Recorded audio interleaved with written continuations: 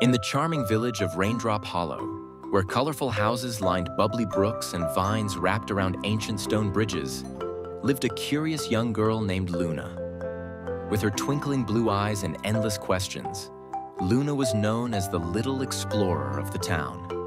One bright morning, Luna set off an adventure to understand why it sometimes rains, something she often wondered while watching droplets dance down her window. Luna scampered over hills and valleys until she arrived at her favorite place, a serene and magical garden secretly known among children as the Whispering Meadow. Here, talking flowers and wise old trees were eager to share tales of science and wonder.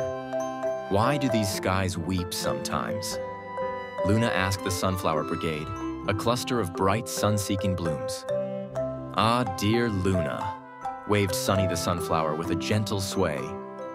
It's the water cycle, a dance as old as time. Let's explore it together.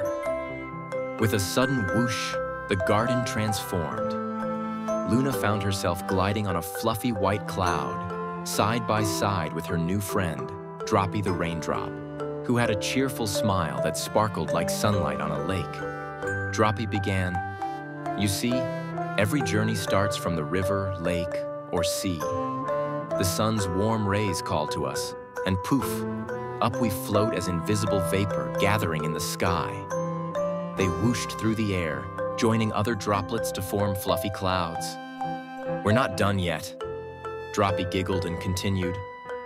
The cool air up here helps us come together, and soon, heavy with friends, we fall down as raindrops to the earth below.